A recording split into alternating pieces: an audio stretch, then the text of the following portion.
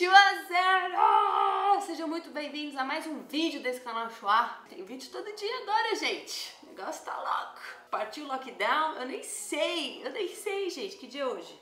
6 de maio, estou gravando esse vídeo dia 6 de maio. Tá o caos ainda, não sabemos o que vai acontecer com a NBA.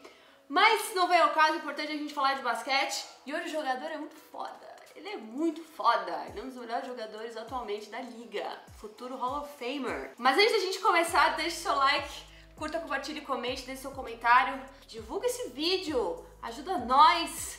Sei que vocês estão gostando da série. Tem muito jogador bom que vocês estão falando. Já anotei tudinho. Vai rolar ainda muito mais nesse top 5. Porque eu me divirto, porque eu gosto de fazer também. Esse é meu cachorro latindo. Acontece. Não deixa de seguir a gente nas redes sociais, porque tá valendo uma camiseta assinada pelo Harden, gente. Não é pouca coisa, não. Lá no Bruno. Se Deus quiser, a gente vai se encontrar todo mundo junto. Vamos assinar um bilhetinho, mandar um beijinho, um cheiro, um queijo pra vocês. A gente tá morrendo de saudades. Tô morrendo de saudade de todo mundo. Mas vamos pro nosso vídeo. O top 5 melhores jogos de hoje vai ser sobre o Kevin Durant. Durant, Durant. O melhor e maior jogador dessa NBA. Pronto, falei. Ele é muito foda. Tá machucado agora. Jogador do Brooklyn, The Real MVP, o cara do melhor meme que já existe na face da terra é dele. Ele é muito foda. Eu vi ele jogando. Já que você viu o jogo das Kardashians, gente, o Bruno fez milagre naquele Photoshop. Eu sou muito uma Kardashian. Obrigado, Bruno.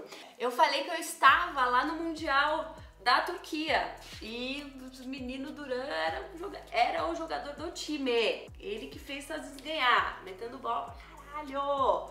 Moleque foda. Esses jogadores clutch. Ele é um jogador clutch. Beleza? Selecionei cinco jogos. Peguei jogos do Oklahoma também e do Golden State. Tem muito jogo, porque ele é muito foda. Então se acalme aí. Pode ser que eu não tenha pego o jogo importante que você considere. Se eu esqueci ou se eu não coloquei, deixa aqui nos comentários qual é esse jogo? E deixa o link também pra eu ver, dá uma olhada, porque tem muito jogo, beleza? Quinto melhor jogo foi contra o Minnesota em 2011. Ele jogava no Oklahoma City Thunder com 22 aninhos. Ele massacrou o Minnesota, jogou pra caralho, 47 pontos, 18 rebotes em 50 minutos. Ele chutou no aproveitamento, acertou 15 de 28, 4 de 8 dos 3 e 13 de 14 do lance livre. Tipo, o cara jogou pra caralho. E ainda terminou o jogo com um step back e um game winner. 22 anos. Ali a gente já tava vendo o que esse cara ia fazer na NBA. Ele, ele é muito reservado, né? É bem tímido. Então, assim, é, você não dá muito assim pra ele, assim, tipo, ele não é cheio das coisas, das graças. Mas ele mete umas bolas muito foda, gente. Não é qualquer jogador que faz isso, não, gente. A bola.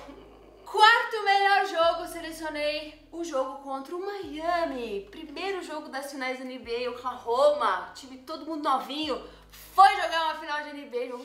Esse primeiro jogo foi que eles, o único que eles ganharam, porque depois eles tomaram 4 a 0 e perderam o campeonato pro Miami, tudo bem, ok, beleza? Mas nesse jogo ele meteu 36 pontos, 8 rebotes e 4 assistências em 46 minutos. 12 de 20 de arremessos, 4 de 8 de bola dos 3 e 8 do 9 de lance livre. 17 pontos ele fez no último quarto, tá? Esse foi o jogo que definiu a carreira dele.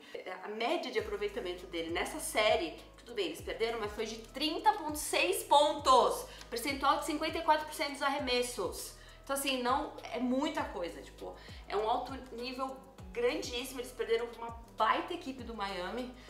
E aí depois rolou a trade, enfim, outras coisas que não vem ao caso, que vai ter outro vídeo aí falando sobre isso, tá bom? Terceiro melhor jogo foi também do Oklahoma, mas dessa vez contra o San Antonio Spurs, de 2012, jogo 6 de playoff. Não é fácil ganhar de um San Antonio, principalmente um San Antonio na época auge deles. Assim, não é pra qualquer um, tá? E aí o mocinho foi e fez 34 pontos, 14 rebotes, 5 assistências em 48 minutos. Eles estavam perdendo de 13 pontos no meio tempo, no terceiro quarto, ele meteu 14 pontos e colocou a vantagem do time na frente. Daí, enfim, depois eles ganharam o jogo.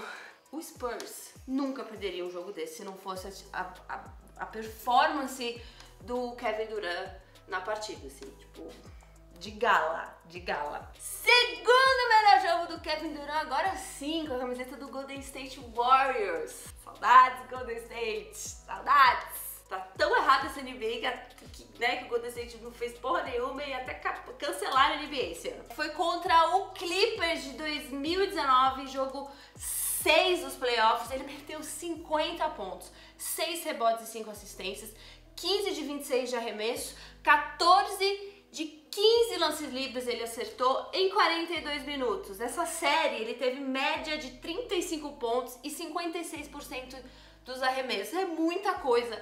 Nessa série, no jogo 2, eles tinham perdido um jogo que o Patrick Beverly defendeu ele, defendeu ele pra caralho, não sei o quê. E aí, numa entrevista, perguntaram para ele se foi esse o motivo pelo qual ele não jogou bem e se isso tinha mexido com o jogo dele. E a resposta dele foi maravilhosa. Ele falou: Oi, é eu sou o Kevin Durant. E aí ele foi lá e meteu 50 pontos na série, ganharam. Ah, saudades desse time, hein? Hein, Carolina, hein, Chiquitito? Saudades. Primeiro jogo, top 1. Não podia não ser o jogo contra o Cleveland Cavaliers, jogo 3 de 2018, que o nosso menino fez 43 pontos, 13 rebotes e 7 assistências, 15 de 23 dos arremessos, 6 de 9 dos 3 pontos, dominou esse jogo, dominou a série, assassino! Ele foi assassino, ele foi letal, ele foi muito foda. Eu ouso dizer que esse Golden State, sem. É que. Eita, que eu vou falar um negócio aqui. Mas eu acho assim que Kevin Durant, não sei se o Golden State ganharia aquele ano sem o Kevin Durant, tá? Pronto, falei. Pronto, falei. Agora fica difícil porque, como é agora ele machucou e a NBA cancelou, e aí a gente não tem noção do que tá acontecendo, então a gente é triste, porque pra mim o Brooklyn ia ser um dos top sei lá, três times com Kevin Durant. Foi isso? Que jogador maravilhoso. Que jogador. Eu fico triste que eu tô fazendo sozinha esses, esses vídeos, porque, tipo, ia ser muito mais divertido com a galera. Mas enfim, é, muito obrigada, deixa seu like, seu comentário, é isso, é nóis. É... Saudades de vocês, um beijo, a gente se vê e fique em casa. Fique em casa. Tchau.